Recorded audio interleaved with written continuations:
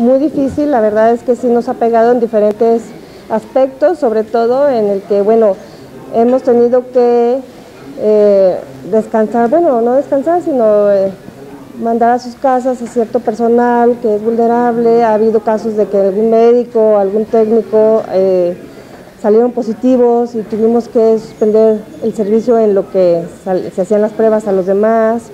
Todo esto con el afán de, de cuidar a los pacientes, ¿verdad? Pero sí ha sido difícil. Hemos hecho un esfuerzo por que no se suspendan los servicios ahí en el centro, para que los pacientes sigan recibiendo sus tratamientos en tiempo y forma.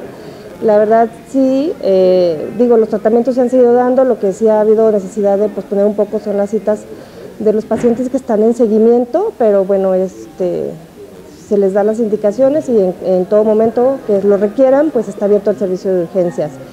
Eso por un lado. Por otro lado, eh, bueno, el, acceso al centro, las medidas de protección y bueno, han tenido que ser muy, muy drásticas, pero creo que hemos tenido buen resultado porque ahí no se ha dado ningún brote. Sí han resultado algunos pacientes que llegan positivos, que se contagian fuera de, pero con los filtros que se instalaron, bueno, eh, se ha logrado evitar eh, que se propague y que se hagan contagios dentro del centro.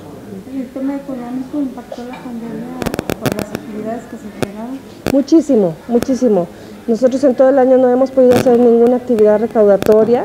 Eh, nosotros dependemos de los donativos y de las actividades que se realizan para recaudar fondos. En este año no tuvimos. Eh, sí tuvimos varias personas que se organizaron e hicieron actividades en su entorno, este, convocaron en redes sociales algunas actividades y sí nos ayudaron pero nosotros como patronato sí nos vimos muy limitados en nuestras actividades que ya teníamos planeadas para todo el año. Eh, sí, tuvimos algo de recaudación, no como años anteriores, pero bueno, sí se ha podido trabajar y se han logrado los objetivos que teníamos ya planteados, ¿no? que es el equipamiento, que es el crecimiento del centro. Hemos seguido trabajando, se han logrado las metas que, tenían propuestas, incluso creo que vamos a rebasar un poco las metas que nos habíamos puesto para este año y pues con el apoyo de DIF estatal y las diferentes personas que se sumaron a, esta, a estas campañas. En cuanto al número de casos nuevos, sobre todo en infantes, ¿hubo alguna variación?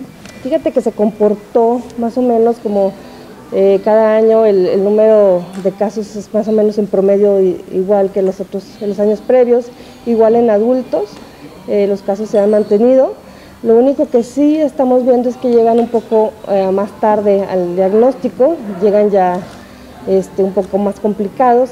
Y esto, bueno, pues dado que, se, que tienen miedo a acercarse a un hospital por todo el tema del COVID, que tienen miedo a acercarse a un centro de salud, a una consulta, entonces sí, sí ha impactado un poco en los diagnósticos tardíos. Pero el número de casos se ha mantenido más o menos el promedio. ¿Y el abasto de medicamentos? El abasto de medicamentos se ha mantenido, en últimas fechas sí hemos tenido por ahí algún retraso.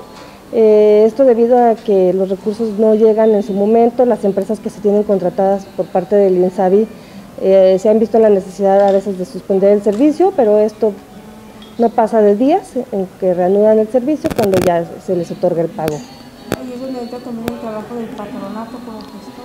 Sí, eh, nosotros bueno, hemos estado al pendiente de todos los medicamentos que están a nuestro alcance que se pueden comprar con los proveedores, bueno, se adquieren.